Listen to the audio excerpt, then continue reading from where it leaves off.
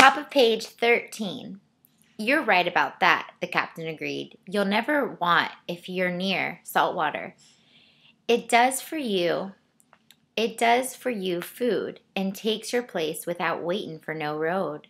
His last words jogged Marguerite into sudden interest. She had been listening to the ta- talk idly, her eyes on the on the endlessly parting waves that the Isabella B plowed through. Now she knew in a twinkling what the captain had meant. The sea was a road to a great watery highway going all around the world. Was the sea really a road? What comparisons does Field make between road and the sea? Why do you think she does this?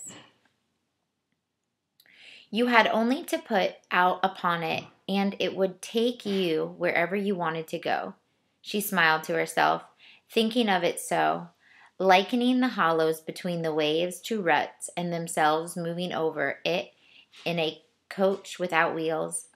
Now Dolly Sargent was dividing the remains of bread between the children, breaking it into as many parts as there were as mouths, as there were mouths, and smearing each piece with molasses from sweet-smelling wooden piggin. Caleb was sent to the milk the cow for Debbie, who had awakened crying. Soon she was back with a hollowed gourd full, warm from old brindle. The neck of the gourd had been scooped and perforated to make a nursing bottle, and Dolly Sargent let the milk fat drop by drop into the baby's puckered mouth. Take the young ones out from underfoot, Maggie, Joel told her. I can't have 'em raising a racket hereabouts. And watch out, Patty and Jacob don't gum 'em, don't gam themselves all over with molasses, cautioned their mother. For Lord knows when I'll wash them clean again. They found a spot in the shadow of the, the settle and other household goods. Here, Marguerite returned to her wool winding, keeping an eye on the four beside her. Becky and Susan got their most cherished possession a corncob doll clothed in scraps of bright calico, while Patty bruised herself with a handful of shells, and Jacob pulled up imagery fish, imaginary fish with a bit of a rope dangling over the side. This is the first time that Field has made reference to calico. So she's talking about a doll that's um, clothed in a scrap of calico. Take a moment to look up what you think she means by calico. She talking about the color? Is she talking about um, what is she referring to as far as the doll's um, outfit goes? Go ahead and pause the video. Towards the evening, the wind changed. It was necessary to track and veer continually to make any sort of headway. Captain Hunt kept up kept up his grumbling about their overloading and squinted warily at the low bank of clouds. The sun, the setting sun, turned to a fiery rose. Those there clouds are, let's say, he murmured. They'll mean no good to us. But for all that evening was fine and clear. Twilight held ov- long over the water, and with the sun down the air grew cool.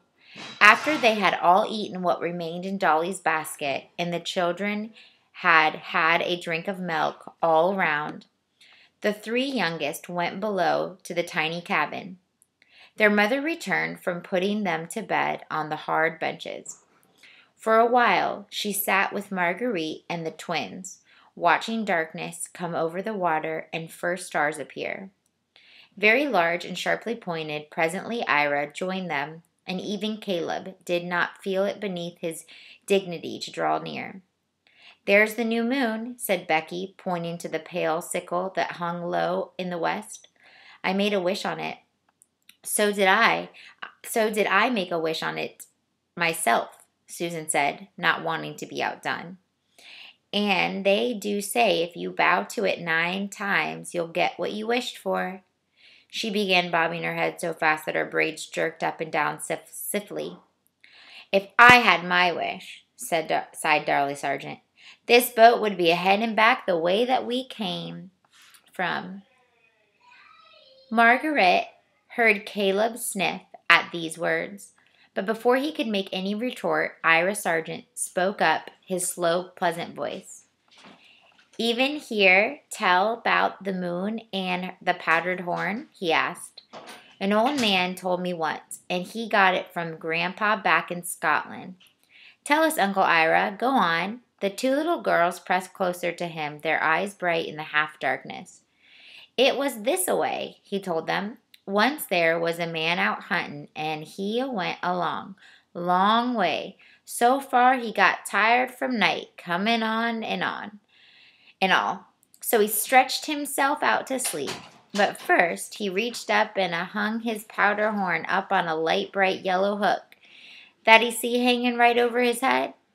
Well, he shut his eyes and he went to sleep, but come morning, when he woke, his powder horn was gone.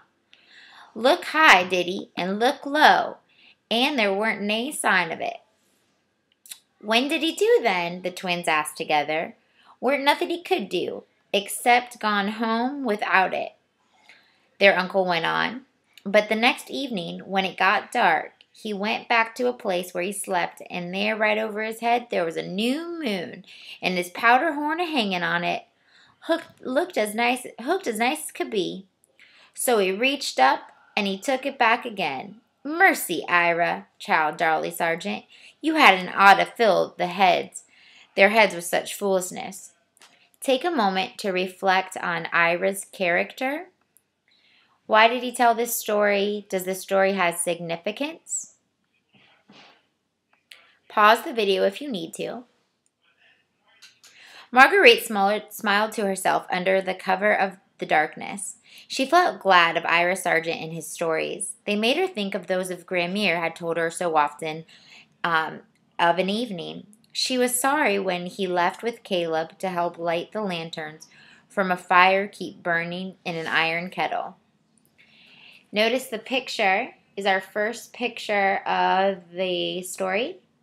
It's about the story that Ira just told. Dolly Sargent went below, but the twins and she sat on together. Their bodies huddled close against the sea chill, their eyes on the star spattered sky overhead. Many planets and constellations she knew from the nights when Uncle, Uncle Pierre had taught her to call them by name. These pointed out to the children, naming these she pointed out to the children, naming them over familiar, familiarly as would mention. I'm excuse, excuse me. I'm gonna try that sentence again.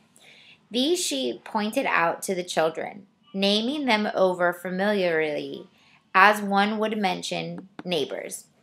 See, there is Mademoiselle Venus. Is she not beautiful tonight? And Monsieur Orion with his belt of little stars, and Les Pleiades over yonder. I'm sure that you can say that. Those names a little bit better than me. Presently, their mother called the twins to come below, and Marguerite reluctantly followed. She would fall farther, she would rather, excuse me, she would far rather have stayed out there as, as the men were preparing to do than creep between the sleeping children in such narrow box like quarters.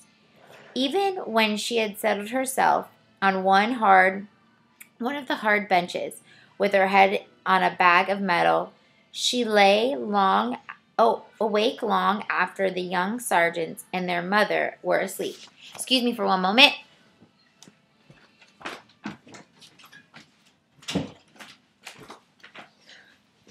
I had to shut the door. Okay. Even when she had settled herself on one of the hard benches with her head on a bag of meal, she lay long awake long after all the young Sargents and their mother were asleep. Though the open hatch could see a bit of the night sky, a fitful brightness came from the stern lantern as it swung into the vessel's motion, and now again the moving shadows of the men showed as they handled ropes and shifted sail. She could tell from the sound of their voices whether they were talking among themselves or whether the captain had is- issued orders. Sometimes she heard Caleb also, his boyish tone shrill against the deeper tones, deeper ones of the three men. She slept at last only to waken to shouting orders and a great pitching and rolling. The Isabella B was behaving in a very different manner from her earlier one. Her beam shivered and shook, her bows plunged and reared, and her mast seemed about to be snapped off short of any moment. Sile! she cried, starting, starting up in the darkness. One hand instinctively reached for her rosary beads, remembering in an instant that she no longer possessed any. She slipped from the chil- between the children who lay in the warm heap of arms and legs about her, and she made for the hatchway. How she got up the steps she did not know. Icy cold water poured down them, and the whole place was awash. The Isabella B was careening at such an angle that it was impossible to keep a footing except by clinging to the rails and inching along. She could make out the figure of Joel Sargent crawling in the fashion to join Ira, who was struggling to reef in the canvas. Captain Hunk, Hunt, excuse me, Captain Hunt clung valiantly to the tiller. Through waves swirled up, the waves swirled up and about him, till it seemed he must have swept away with the earlier fresh deluge. As he threw his weight against the tiller, he shouted out the orders to the others, but the noise of wind and water was such that even with deep sea voice sounded faint and broken. Make the stays fast, Marguerite heard him bellowing. Then, and then the next moment, when he caught a sight of her, it was, Below! Keep below there! She would have obeyed had it not been for the sudden shrill cry from the bow. Caleb and the livestock were in trouble. She knew this without the splintering wood and the terrified lows and bleats to warn her. Hardly realizing what she was doing, Marguerite sat herself to go forward. Flattening her body against the side of the cabin, she edged along, clinging with one hand to the low wooden rail, and bracing her bare feet against any board that could help her keep a foothold. Whatever headway she gained, she must make in the second of the lull between waves. They swept over about her, flinging her no- filling her nose and mouth with salt water. The wind whipped at her braids, her wet braids. But she hung on. The men shouted to her. She was past heeding. Halfway along, particularly high wave washed over the straining boughs, burying them in spray. Seeing it upon them, Marguerite lowered her head flinging all the strength that she had into the grip of her hands and her feet. Then came another sharp cry from Caleb, and she looked up in time to see a white mask swept overhead. She did not need the agonizing, agonizing bleeding to tell her what it was.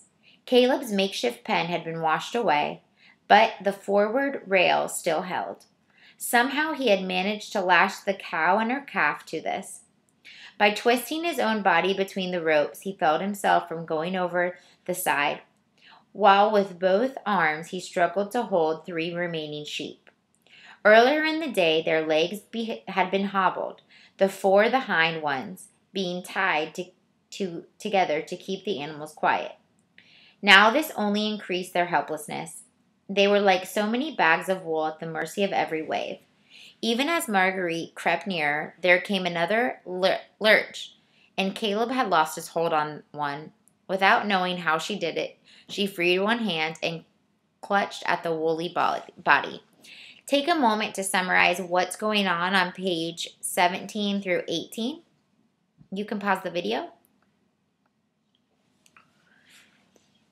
Keep a hold, she heard Caleb shouting in her ear, and she dug her fingers tighter in the thick wool. They could barely make each other out in the dark and wet, but the whiteness of the sheep helped mark the places where they clung. Now and again, in any sight lull, they shouted a word or show or so to show that they still hung on. But for the most part, neither had had any breath to spare. Ah, my arm, you'll twist it off, gasped Marguerite as the sheep struggled in a panic of animal terror. She caught her lips between the teeth lest Caleb should hear her crying with the pain. After a little, it did not hurt so much. Either the sheep had tried it, had tired itself, or she had grown used, gone, grown used to the strain. She felt very cold and numb, and almost too spent to be afraid when the Isabella B took some specially high sea or plunged from the watery height to hollow, and then it was over. The squall passed with almost as, as suddenly as it had come upon them. The wind no longer tore and tugged at the rigging, and in the early light of morning the sea grew quieter. Ira Sargent was the first to reach them. His face looked pale under his sunburn, and he peered over the wreckage to see if they were still there. Without a word, he took the sheep from Marguerite's hold, leaving her to craft off, to crawl off. She would scarce she could scarcely grip the wooden rail, and her fingers so cramped that she was too soaked to care that a foot of water slopped about the cabin floor with every lurch and roll. Never lauded on a scene that pair of young ones alive. She heard Captain Hunt saying to Joel as she stumbled down the hatchway, Well, I guess Caleb would stick fast, the other one answered. But why she ain't got to bottom traspin out there and the blow is past me. She's got grit. Wherever she's raised, I'll say that for her. Yes, she's quite a craft, that girl, the captain added. And then he shouted orders to Ira about letting out more sail. Marguerite tumbled into a heap on the hard bench below. Stop and pause. Can you add anything to Marguerite's character? What does the word grit mean to you? The children whimpered on all sides, and Dolly Sargent scolded her for her rashness. But this was nothing to the inner glow that she had felt that she felt as she remembered the words she just had heard. The captain had praised her, and Joel Sargent had admired, had admitted that she had grit. Perhaps even Caleb would be less scornful of her now. She fell asleep and dreamed herself back in Le Havre in the sunny garden of the convent. The sisters were moving about in their soft blue robes and starched headdresses. They were like crisp white wings, and the chapel bells was ringing for noonday mass. She awoke with a dull ache in her head and a body so stiff it was all she could do to keep from crying out as she painfully climbed from the dark cabin into the brightness above. The sun stood high overhead, and the sea was so smooth and blue it seemed impossible it could ever have buffeted the Isabella B so fiercely. But all were signs of that struggle. Part of the for- forward railing was gone. One of the hen coops and more of the half of the precious household goods had been washed away. Dolly Sargent sat in the midst of her young children, mourning the loss of her possessions, in no certain terms why her husband reminded her that it was a mercy that they all hadn't followed them to the bottom. What does that line say about Dolly's character? She was mourning all her possessions. Top of 21. You'd best be thankful we saved three of those sheep, Caleb told her with pride. But for Maggie and me, there wouldn't have been a, a snag of wool left. And what are sheep good to me without a spinning wheel? She answered him shortly turning one of the of the quotes the better to dry in the sun. But for all her fault finding, Dolly Sargent was easy with her bound out girl that day. She set her no tax, tasks beyond looking out for the children, and even gave her a bit of tallow to rub on that great bruise that had risen on her forehead. Already it was turning a deep purple, a sight which seemed to gratify Caleb. May, he said, I'm sorry, my, he said, but you're easily battered. Guess I'm a tough bear, or I'd be black and blue all over. Oh, hush up, his Uncle Ira told him good naturedly. Whatever it was that struck her weren't a no farther. Feather. There being only enough milk for the baby and two of the younger children's behind some hardtack, the men set out to find other food. What would you say to taste of Marblehead turkey? suggested Captain Hunt. Wind's light enough to spare two hands from the rope. Marguerite looked at her in amazement at these words, and Ira smiled as she as he and Caleb brought out hooks and lines. Even the twins were less ignorant of such matters than she. They soon explained to her that it was codfish they were after, not wild fowl. With some hoarded bits of dried fish for bait, they cast their lines over the side and soon Several speckled cod and haddock, or two, were flopping underfoot.